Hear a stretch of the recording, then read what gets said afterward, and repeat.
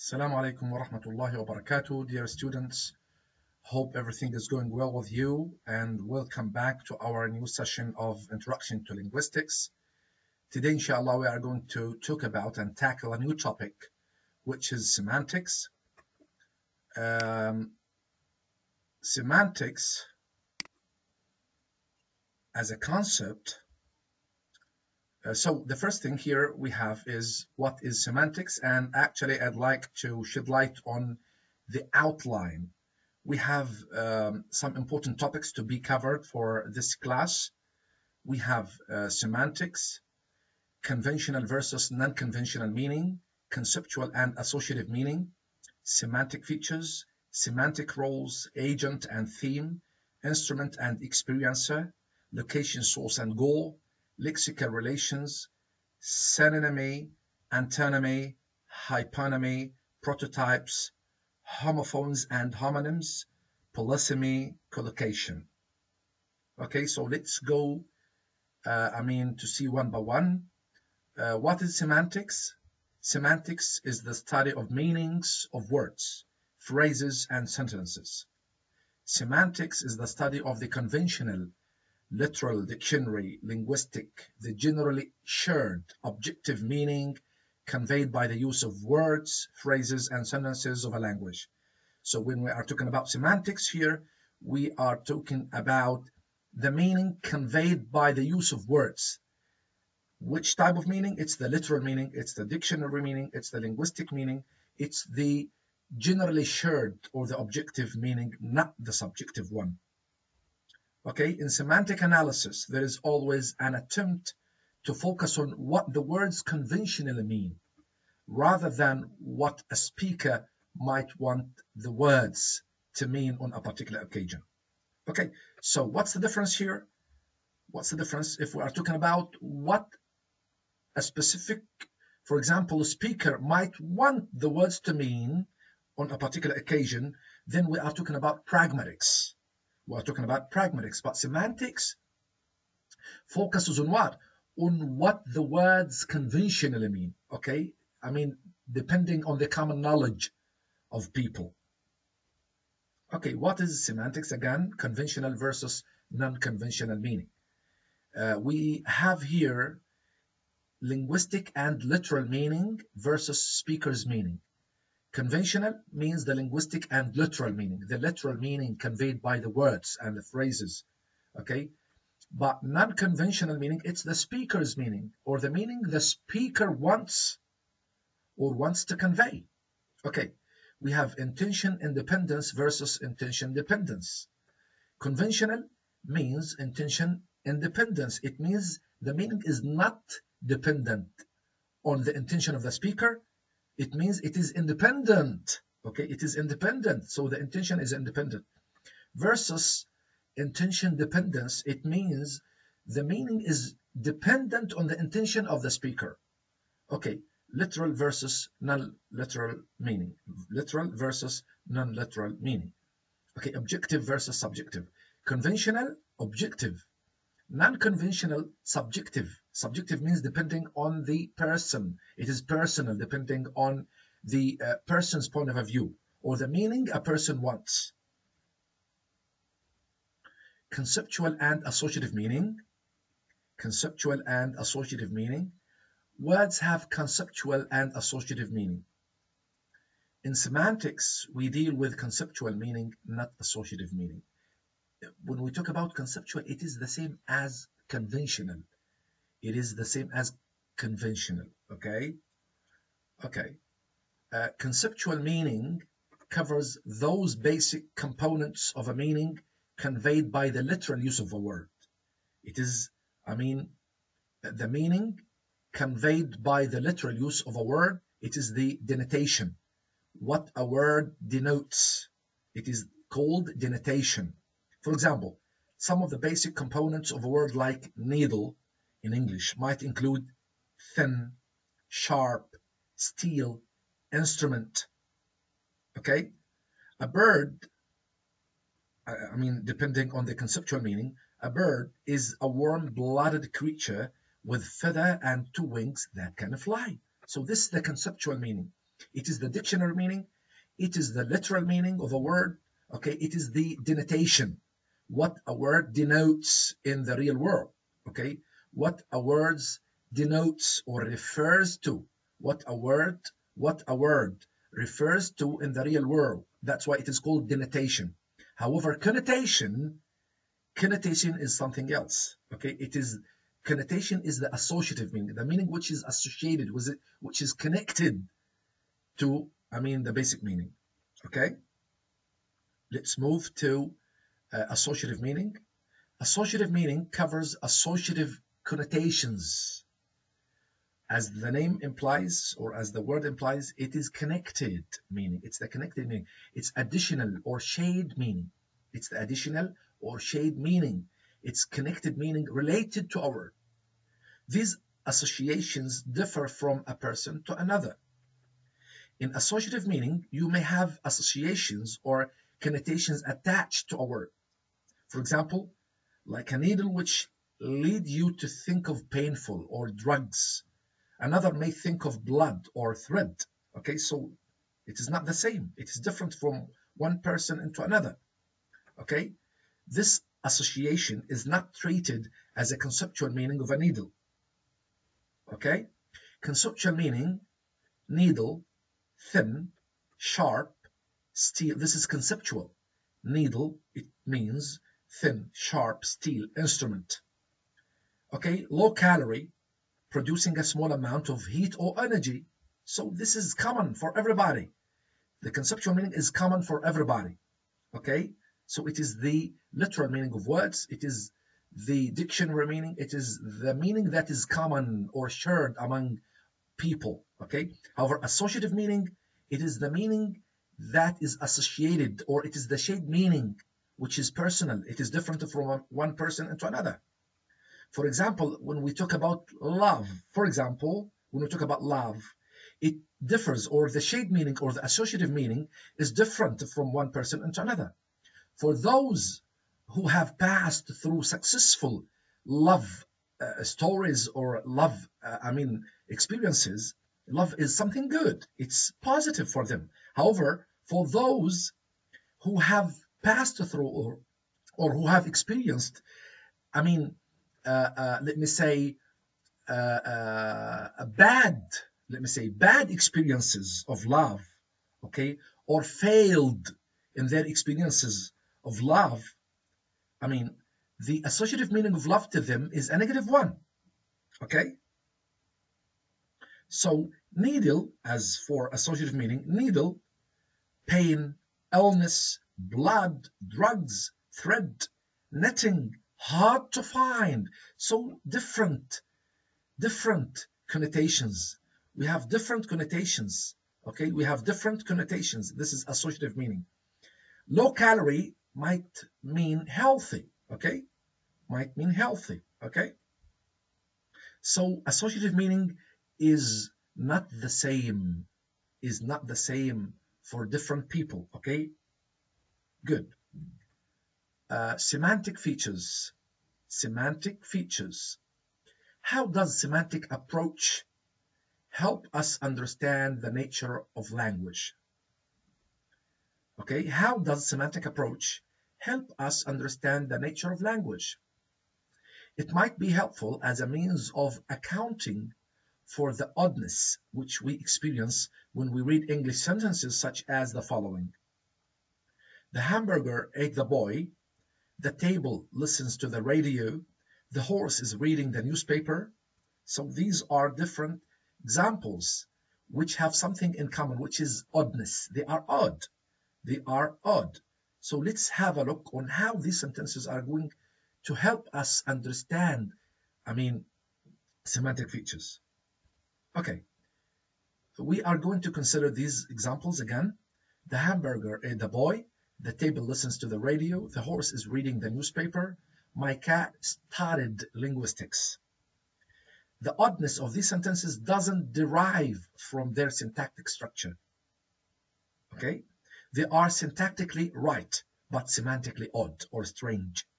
So they are odd not because their syntactic structure is wrong. No, syntactically speaking, syntactically speaking, Again, syntactically speaking, all these sentences are right. They are well formed. They are correct because they start with subject. Okay, they start with subjects, noun phrases. Then we have verbs. Then we have objects or other noun phrases. So subject, verb, object, subject, verb, object. So syntactically speaking, they are okay. They are acceptable. They are well formed. However, semantically speaking, they are not. They are not okay. They are odd. They are strange. So the oddness of these sentences doesn't come from or derive from their syntactic structure. They are syntactically right, but semantically odd. According to the basic syntactic rules for forming English sentences, we have well-formed structures. These are well-formed. According to what? To the basic syntactic rules of English language. Okay, we have noun phrase, verb, noun phrase.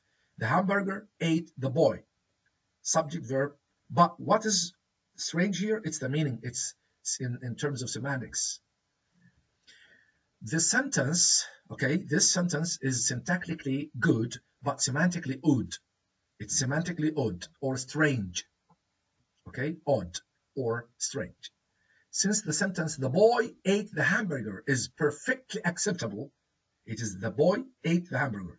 It is perfectly acceptable, okay? It is perfectly acceptable. We may be able to identify the source of the problem. So now we are going to go into the source of the problem the components of the conceptual meaning of the noun hamburger must be significantly different from those of the noun boy. So we have here two nouns, hamburger and boy. Each one has components, okay?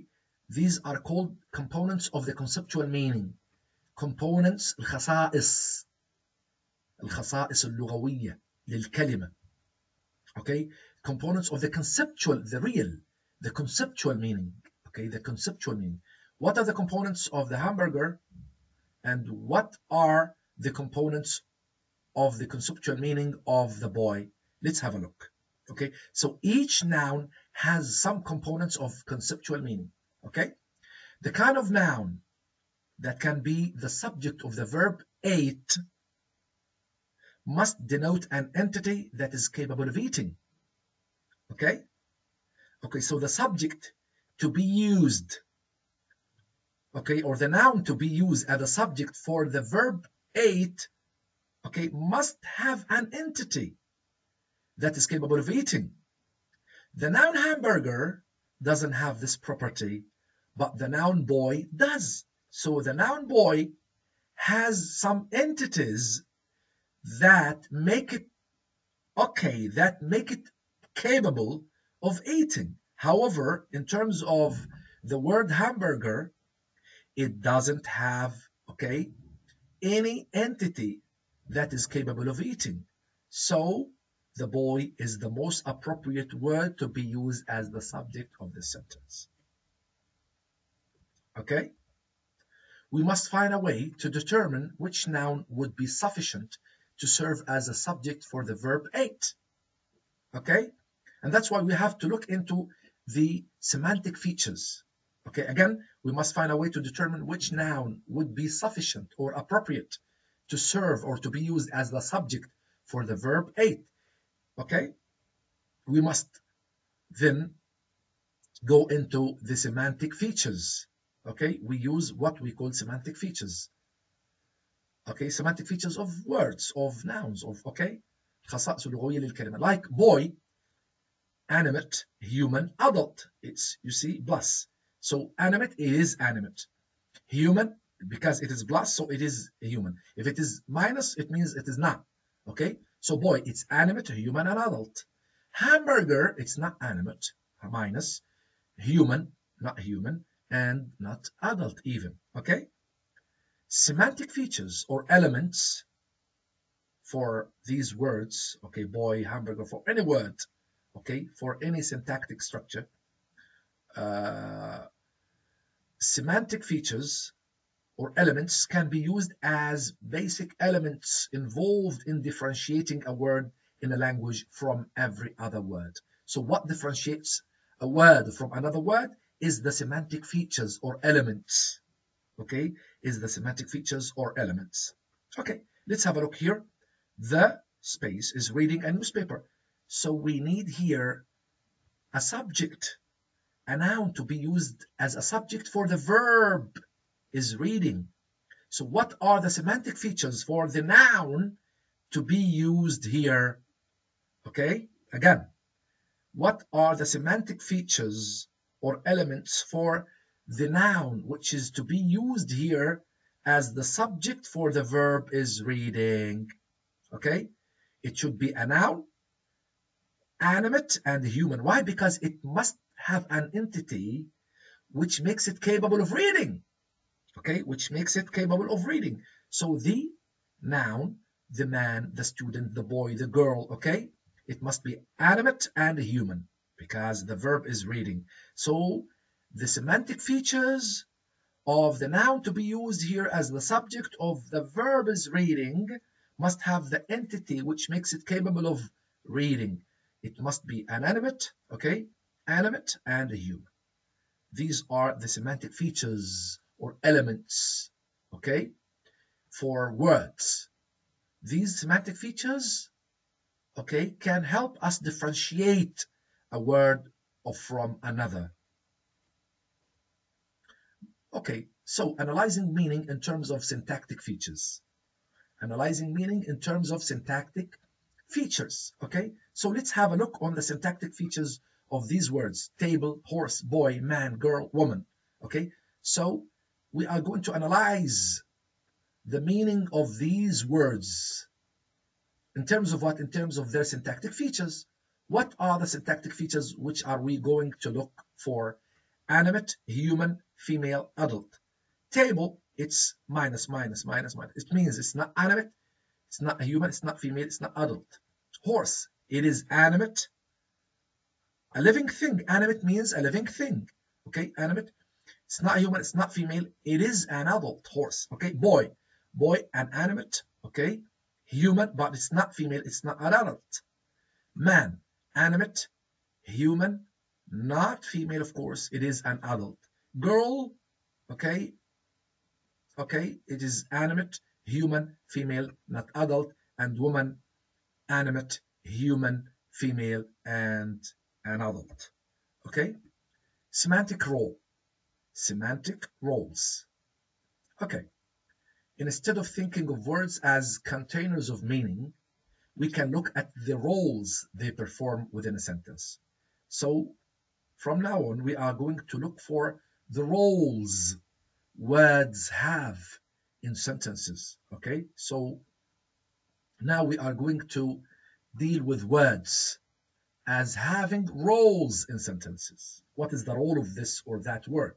Okay, noun phrases describe the roles of entities such as people and things involved in the action. Again, noun phrases describe the roles of entities such as people and things involved in the action. For example, the boy kicked the ball. The boy kicked the ball. Okay? Verb kicked. We have here kicked. It is the verb. It describes the action. It describes the action. However, we have two noun phrases. We have the boy and the ball. So we're talking about noun phrases. Noun phrases describe the roles of entities such as people and things involved in the action. Why? Because the verb is the action, and we have the boy and the ball are two noun phrases that are involved in the action. Involved in the action in one way or another. Okay, noun phrase, the boy and the ball describe the roles of entities such as people and things involved in the action. Like the boy, people. The ball, things. Both of them are involved in the action. The boy is the agent, is the doer, okay, is the one who makes the action. The ball is the one which receives the action, okay? And it is, okay, it is another noun phrase. So noun phrases describe the roles of entities such as people and things involved in the action. We have verb, kicked, okay, it describes the action itself. We have noun phrases, we have the boy and the ball. Both describe the roles of entities such as people and things involved in the action. We can identify a small number of semantic roles These semantic roles are also called thematic roles for those noun phrases. Okay? Thematic roles. So we are going to talk about noun phrases from now on. Noun phrases, whether they are subjects or objects, okay? Not verbs, of course. Okay, noun phrases. Noun phrases, whether are they are here at the beginning or after the verb. Okay, so we can identify identify a small number of semantic roles. What are the semantic roles or the thematic roles of noun phrases that occur in sentences? Let's have a look about the uh, uh, semantic roles. We have different semantic roles. We have agent and theme, instrument and experiencer, location, source, and goal. Again, agent and theme, instrument and experiencer, location, source, and goal. Okay, agent and theme. The agent, it's the entity that performs the action. Again, the entity that performs the action. For example, the boy kicked the ball. Okay? The boy, noun a phrase. An entity. We are talking about noun phrases, by the way. So, the boy, an entity that performs the action. Who performs the action? The boy. Okay? As in the example sentence, one role is taken by the boy as the entity that performs the action, so it is the agent. So the noun of the the the role, okay, the semantic role, the semantic role of the boy is agent here. Okay, the semantic role. We are talking about semantic roles. Okay, so as in the example sentence, one role is taken by the boy as the entity that performs the action. So it is the agent. Although agents, so it's I, I think it's clear cut. Although agents are typically human, typically they are typically okay in most cases they are typically human. They can also be non-human forces, machines, or creatures. For example, the wind blew the ball away. The car ran over the ball. The dog caught the ball. So we have the wind, the car, the dog. All of them are agents. They are agents, but none of them, okay, none of them are human, okay? None of, none of them is a human, sorry. None of them is a human, okay? So, but some agents, okay, some agents are human, some others are not. Good. Theme. The entity that is involved in or affected by the action is known as the theme. The entity that is involved in or affected by the action is known as the theme, affected by the action. So, okay, so it is the one that receives the action. For example, the boy kicked the ball. The boy kicked the ball. In this sentence, the ball is the theme or sometimes the patient because it is affected by the action performed by the agent. Okay, the agent is the boy. The theme is the ball because the, the, the agent performed the action. Okay, and the theme received the action, or we can say is affected by the action. And that's why it is sometimes called the patient. Okay, it is sometimes called the patient.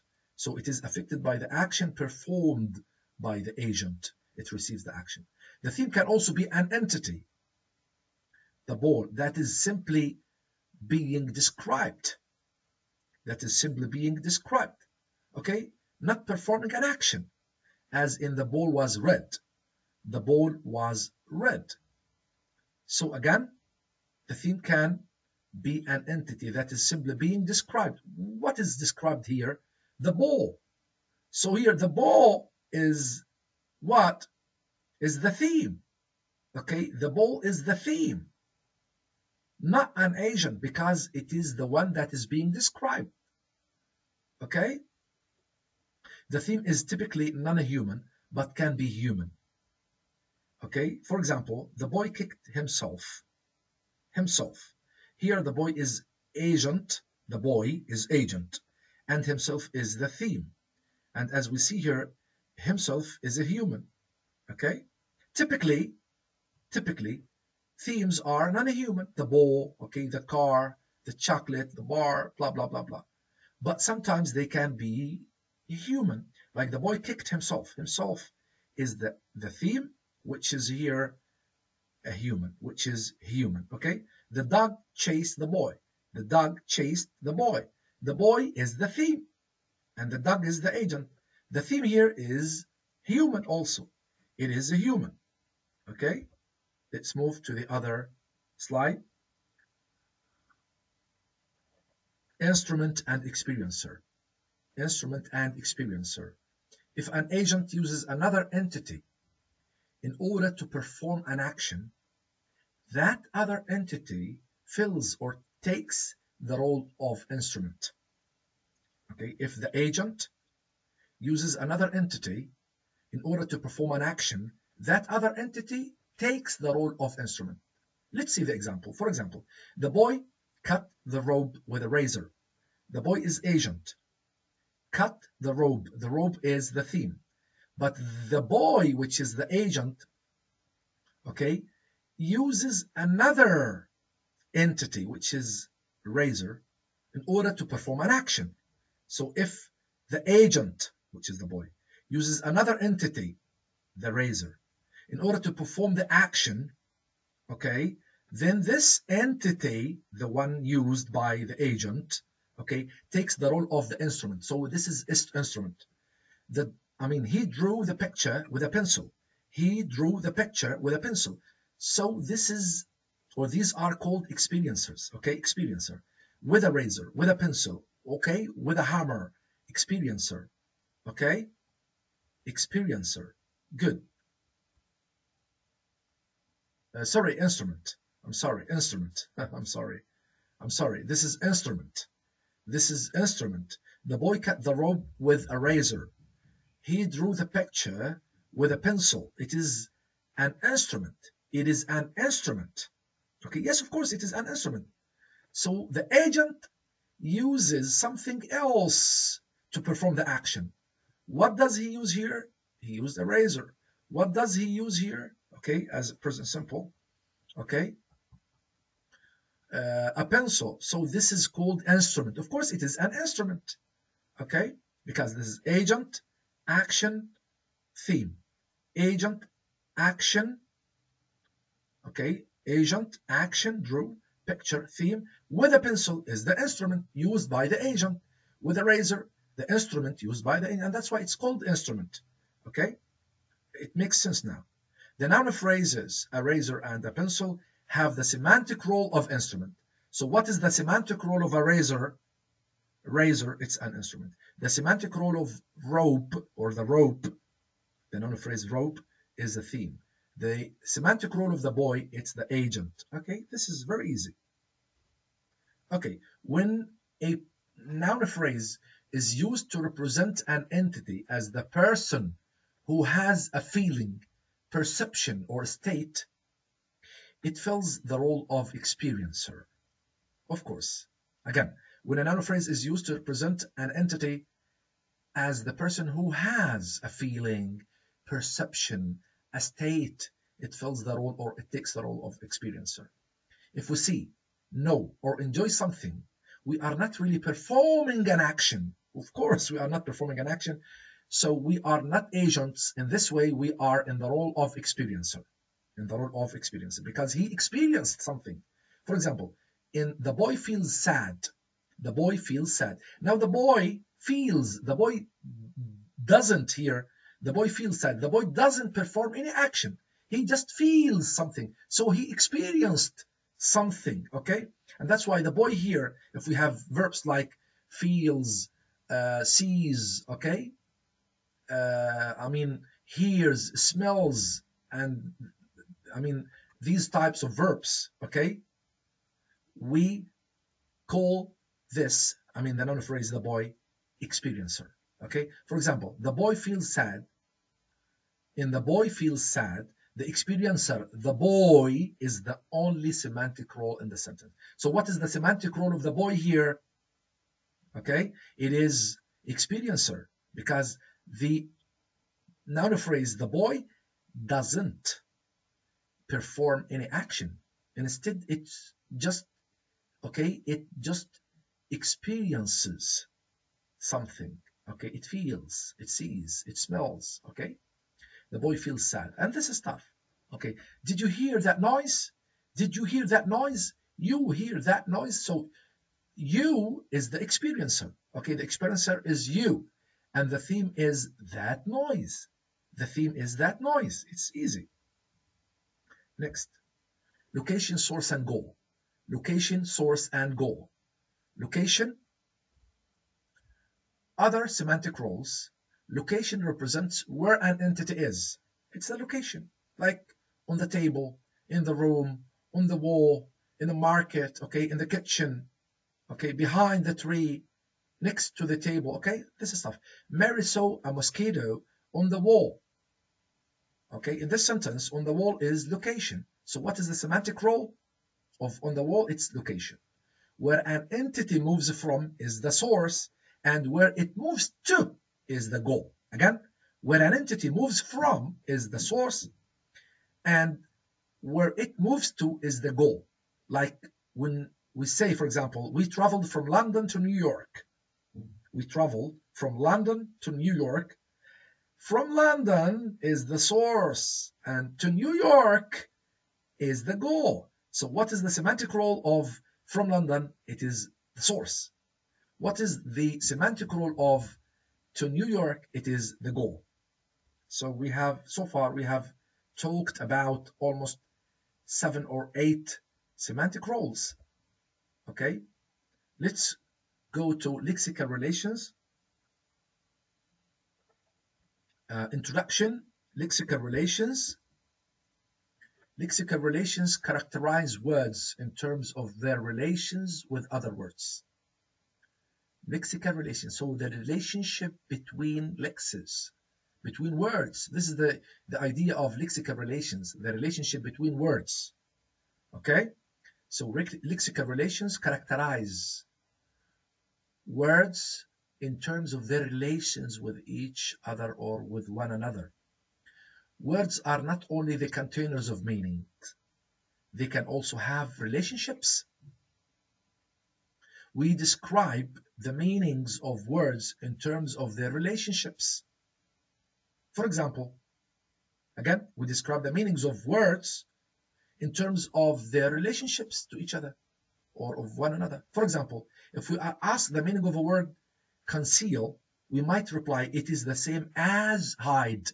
So we have given a synonym. Conceal, it is the same as, you see. So we have given the meaning of conceal, okay, in terms of what? In terms of its relation to another word. Conceal, it is the same as hide. The meaning of shallow as the opposite of deep. It is the opposite of deep. So we have given the meaning of shallow, okay, in terms of its relation to another word, deep. Okay? The meaning of daffodil as it is a kind of flower. It's a kind of flower. So we have given the meaning of one word, okay, depending on its on in what? On its relation to another word. Good. In doing so, we are characterizing the meaning of a word not in terms of component features, but in terms of relationship to other words. Again, so we are characterizing meaning of a word or words not in terms of component features مش الخصائص اللغوية تاعت الكلمة but in terms of the relationship to other words. Okay? We have different types of lexical relations. Lexical relations are synonymy, antonymy, hyponymy, prototypes, homophones and homonyms, and polysemy. And polysemy, okay, or polysemy. Next, let's see one by one. Synonymy, this is synonymy. Synonyms are two or more words with very closely related meanings.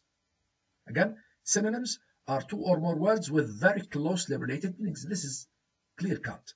They can often, though not always, be substituted for each other in sentences okay we can use one instead of another or in position of another one in place of the other okay okay so answer reply cab taxi liberty freedom okay? So synonyms are two words or more with very closely related meanings that cannot always be substituted for one another. Antonyms opposites of course. Antonyms are two forms or words with opposite meanings. Quick, slow, big, small, long, short, rich, poor, happy, sad, hot, cold, old, young, male, female, true, false, alive, dead. Okay? Antonymy. Antonyms are divided into two parts. Antonyms are divided into two parts. We have gradable, gradable antonyms and non-gradable antonyms. Okay? Uh, we have some characteristics for them. Let's talk about gradable antonyms. First of all, they represent points on the scale. And when we say they represent points on the scale, we mean that uh, they indicate they indicate something on a specific scale. That's to say, for example, hot and cold indicate the opposite position on a temperature scale. We have hot, we have cold, and there are some possibilities between them. When we say represent points on a scale, it means they can be put on a scale and some other possibilities can be inserted between them, like warm. It can be used between hot and cold. Okay, mild can be used between hot and cold on the scale. Okay, and that's why hot and cold indicate the opposite position on a temperature scale. This is, they represent points on a scale. Okay, they represent points on a scale. Okay, one point, two point, and in between we have different, different grades, okay? Different grades, and that's why they are called gradable. They represent points on a scale. This is point, hot, we have warm, we have mild, we have cold, and we have different degrees. This is what we mean by represent points on the scale, okay? They can be qualified or modified by adverbs, such as very, quite, extremely, Okay? For example, the tickets were surprisingly expensive. The tickets were very expensive. The tickets were quite expensive. So they can be modified by adverbs. This is number two. Number three, they can be used in comparative and superlative constructions. Like what? Hot, hotter, hottest, or the hottest, okay? Big, bigger, the biggest, and this is tough. They can be used in comparative and superlative constructions. Other gradable pairs include tall, short, wide, narrow, big, small, strong, weak, heavy, light, high, low. Okay. Number four, negative of one member of the gradable pair doesn't necessarily imply or mean the other. Okay. The negative of one member of one pair, let me say, of a gradable pair does not necessarily or imply the other. For example, if the dog is not old, it doesn't necessarily mean the dog is young. If somebody isn't weak, it doesn't mean he is strong. Okay, so the absence of one member of the gradable pair doesn't necessarily mean the other. So we have so far talked about four characteristics of a gradable antonyms. Let's move to non-gradable antonyms. Non-gradable antonyms, also called complementary pairs or binary antonyms. Complementary pairs or binary antonyms, these are direct opposites. Direct opposites, nothing in between. They represent opposed states that cannot be measured, that cannot be measured on a scale. That's to say, they do not admit any possibilities between them. Okay? Again, they are binary antonyms, they are complementary pairs, they are direct opposites, they represent opposed states that cannot be measured on a scale. What do we mean by cannot be measured on a scale? It means they do not admit any possibilities between them. For example, if we say uh, alive and dead, okay, we cannot say alive dead and we have something in between, different degrees for alive and dead. And that's why they are direct opposites that cannot be represented on a scale. They do not admit any possibilities between them. Okay? Dead, alive, dead, alive. Nothing in between can be inserted or be used, okay? Nothing in between can be used. Good. Okay, so they do not admit any possibilities between them.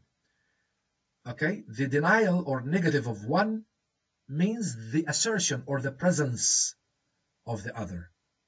Okay, the negative or denial of one of them or, or one of the pairs, okay, or one member of the pairs means the presence or assertion of the other. Thus, if one isn't male, it is certainly a female. Okay? If one isn't alive, he is certainly dead. Okay? So the negative of one member of the pairs means the assertion or the presence of the other. Non-gradable antonyms can't be used in comparative constructions or superlative. For example, we cannot say John is didier, okay, did, alive. cannot. John is didier than Tom, or he was more alive than I was. Cannot be used, okay? Okay? No, it can't be used, or they can't be used in this sense. Okay? Cannot be used. Non-gradable antonyms can't be used in comparative constructions. Next, they don't allow adverbs like very to qualify them. Okay? Very dead, very alive. No. Okay? Non-gradable antonyms are complementary in that the negation of one is the meaning of the other. So they complete each other in this sense. Complementary, complete each other. If one is absent, okay, if, if, if one is absent, it means the presence of the other, okay? For example, not dead means alive. So they complete each other, complementary. Not true means false, and so on, okay? So complementary in this sense means the absence or the negation of one means the presence of another. Means the presence or the meaning of the other one. Right? They complete each other. They complete each other. If he is not dead he is alive. Okay? Male female. North south single married before after present absent awake asleep etc hyponymy hyponymy when the meaning of a word is included in the meaning of another, the relationship is described as hyponymy. Okay, so one meaning is included in another. One is more general and one is more specific. One is general and one is more specific. So the meaning of a word is included in the meaning of another. The relationship here is called hyponymy. Hyponyms are words whose meaning are whose meanings are specific instances of a more general word. For example, red, blue, yellow are hyponyms of the word color. They are hyponyms, red, blue, white, black, are hyponyms of the word color. Okay, inclusion. Hyponyms okay, or hyponymy means inclusion. Hyponymy is sometimes referred to as inclusion. Yes, because one is included in another. The meaning of one word is included in the other. Okay? Hyponymy is sometimes referred to as inclusion. The meaning of a more specific word is included in that of another more general word. Okay? Clear cut. For example, if an object is a rose, then it is necessarily a flower. So the meaning of a rose is included in the meaning of a flower. The relationship of hyponymy captures the concept of is a kind of, is a kind of. Okay? As when we give the meaning of a word by saying rose is a kind of flower, blue is a kind of color, oak is a kind of tree, or so is a kind of pig. Okay? So it captures the concept or the meaning of it's a kind of, it's a kind of, the same. So one meaning is included in another meaning, and that's why it is called inclusion. Hyponymy we have subordinate and superordinate. Subordinate and superordinate. Daffodil and rose. Again, daffodil and rose are hyponyms of a flower. And lion and elephant are hyponyms of animal. The general words flower and animal are the superordinate terms. Superordinate. Okay? Superordinate. And the more specific ones, daffodil, rose, lion, and elephant, are the subordinate terms. So we have superordinate, the more general, and superordinate, the more general, and subordinate, the more specific. Okay? Good. This is easy. We look at the meaning of words in some type of hierarchical relationship, like tree diagram. Living things, okay? Creature, okay? So these are living things like creatures and plants are superordinate, superordinate. But here, cabbage, rose, pine are subordinate, okay? Living things divided into two parts, creature, plant, or plant, creature, animal, insect, animal, horse, dog, pig, horse, mare, dog, uh, hound, pig, swine, insect, cockroach, okay? Living things also we have plants, vegetable flowers, trees. We have cabbage, rose, and pine, okay? So uh, like tree diagram. Hierarchical relationship. Good. So in hyponyms we have subordinate and superordinate. Okay, hyponyms, subordinate and superordinate. Color is a superordinate term but uh, blue, red, yellow are subordinates, okay? Subordinate, these are hyponyms, okay? Subordinate and superordinate. Hyponyms, subordinate and superordinate. Hyponymous sets also include things like hammer, saw, screwdriver, spanner, etc. Under the general word tool, okay? So all these are listed under tools, okay? So, minshar, screwdriver, spanner, etc. Under the general word tool, okay? Uh, plaice, cod, herring, sole, under the general word fish. These are types of fish, okay? Okay, kinds of fish. Okay, so uh, cumber, we have general, superordinate hyponym, and specific subordinate cool hyponym. Cool, okay? Okay, cool, okay? So we have general superordinate hyponym like flower, animal, material, okay? So these are general superordinate hyponyms. And we have specific subordinate co-hyponym like rose, lily, daffodil, cow, horse, sheep, tiger, solid, gas, liquid, okay? Rose, lily, daffodil together cow, horse, sheep, tiger together. Solid, gas, liquid together. So they are specific subordinate co-hyponym. Okay. Uh, next we have prototypes. Prototype, نموذج أو نموذج, is the most characteristic instance of a category. أفضل ما يمثل الفصيلة. Okay, so prototype prototypes. Prototype is the most characteristic instance of a category. While the words canary, cormorant, dove, duck, flamingo, parrot, pelican, and robin are all equally co-hyponyms of the superordinate bird they are not all considered to be equally good examples of the category bird. Okay? They are not equally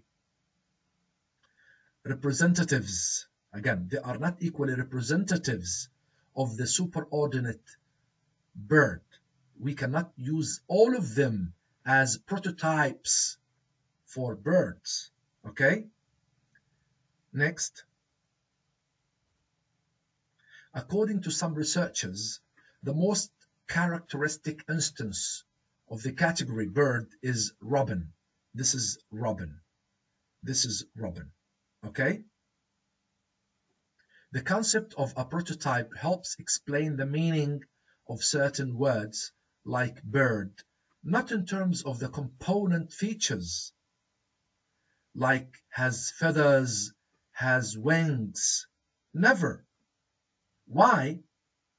For example, an ostrich cannot be used to represent or to be used as a prototype for birds. So we do not depend on the component features. If we talk about the component features, an ostrich, this is an ostrich, has feathers. It has wings. Okay, it is a bird, but it is not, or it cannot be used to represent birds. So it is not used or it cannot be used. It is not the most appropriate creature to be used as a prototype ليس أفضل من يمثل okay so we do not depend on the component features الخصائص like it has feathers it has wings okay all of these okay but in terms of what what do we depend on actually what do we depend on is in terms of resemblance to the clearest example clearest example in terms of what? In terms of the resemblance to the clearest example. Okay? So to what extent does a robin, for example, resemble the clearest example of birds? To what extent, again, to what extent does a robin resemble the clearest example of birds? We can say to a great extent. To a great extent. Okay, so we depend on what? On the resemblance of the object, resemblance of the thing to the clearest example. Okay, we do not depend on the component features. Okay, next. Given the category label furniture, we are quick to recognize chair as a better example than bench or a stool. Given clothing, people recognize shirts quicker than shoes. And given vegetable, they accept carrot before potato or tomato. So it's clear that there is some general pattern to the recognition process involved in prototypes.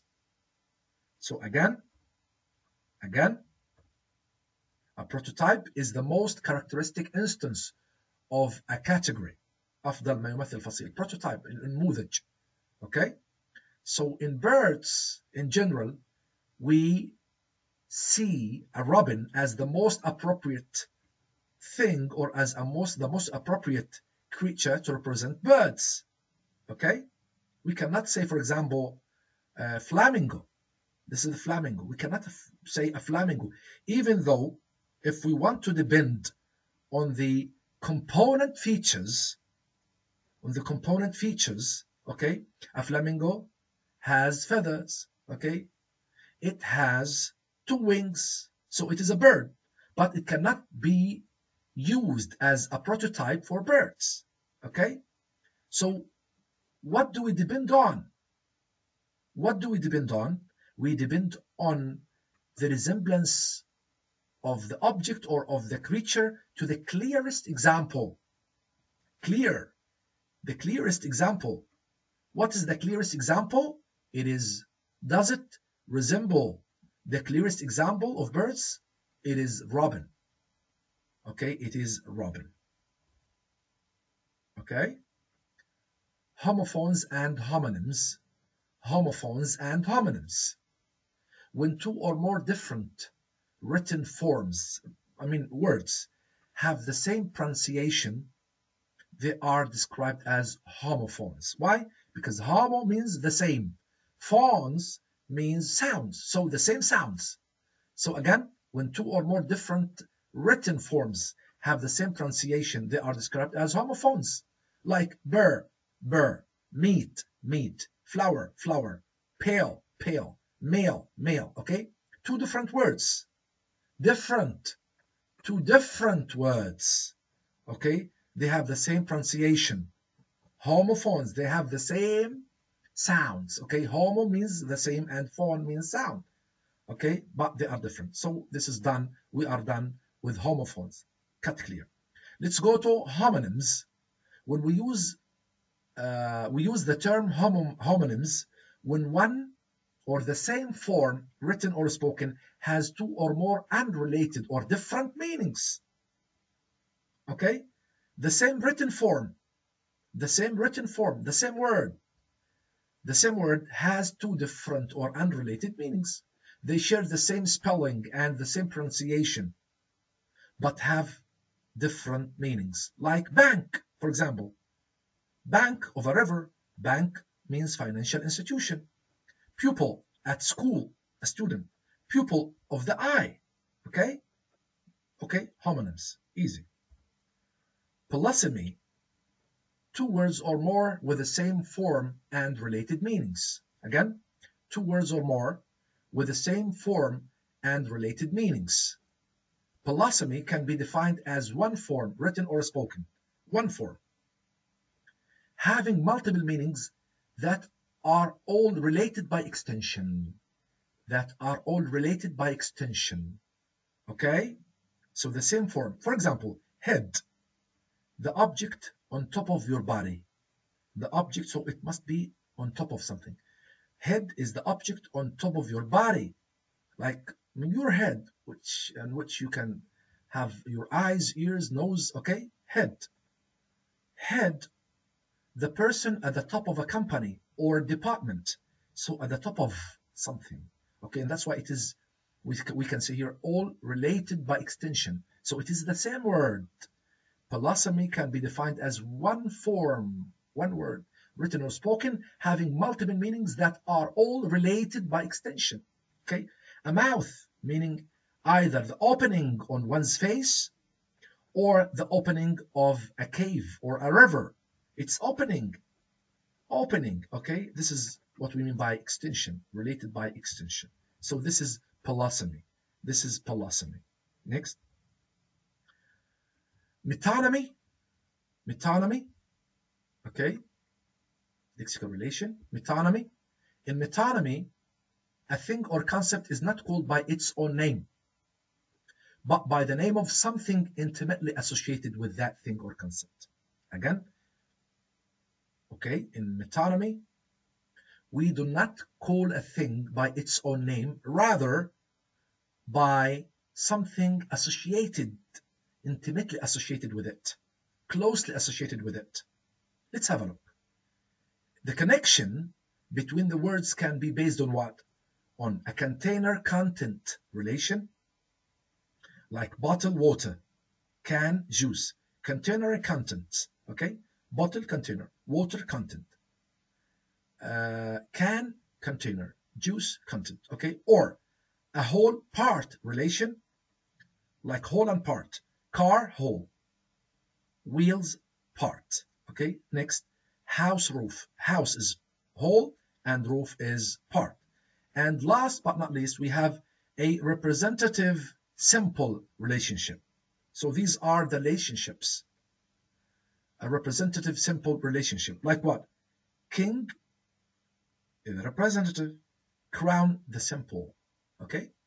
President, White House. President is the representative, and the White House is the simple. Okay? So metonymy, we call something not by its name, however, or but by something intimately associated with it or closely related with it. Next, metonymy. Okay? It is our familiarity with metonymy that makes it possible for us to understand he drank the whole bottle.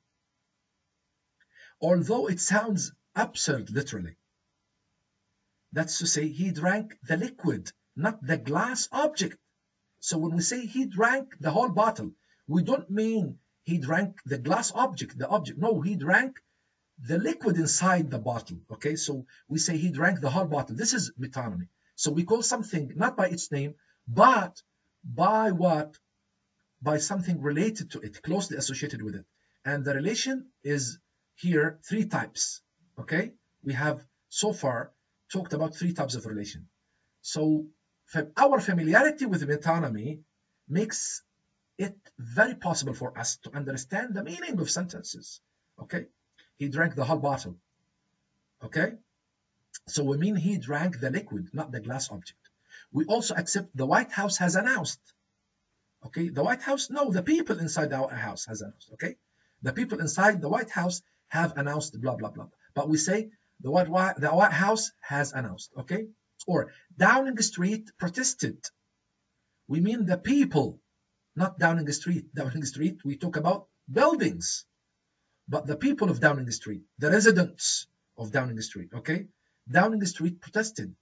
Okay, so we understand this sentence, Downing the Street protested, without being puzzled that buildings appear to be talking and protesting. Okay? We use metonymy when we talk about filling up the car. Okay? Of course, we uh, fill up the tank of the car, answering the door, boiling a kettle, giving someone a hand, or needing some wheels. Okay, so all these are used or are called metonymy. Okay, making sense of such expressions often depends on context, background knowledge, and inference. Okay, context, background knowledge, of course. So we have to depend on context, background knowledge, and inference. Okay, in order to understand these sentences. Next. So context, background knowledge, and inferences. Collocation, very easy, of course. Collocation is defined as a sequence of words or terms that often co-occur or appear together. Co-occur or appear together. A collocation is made up of two or more words that are commonly used together. Another definition. Okay? Good collocation examples of this type of word pairing are combinations with make and do. We have many, many collocation words, okay? So words collocate, okay? Words always collocate. A good example for word pairing or collocation is the combination with make and do. For example, you make a cup of tea, but you do your homework.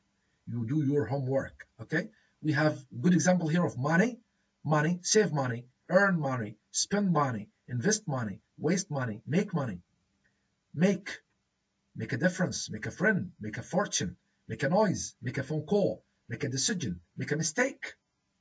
Okay, so these are good examples of collocation. Next.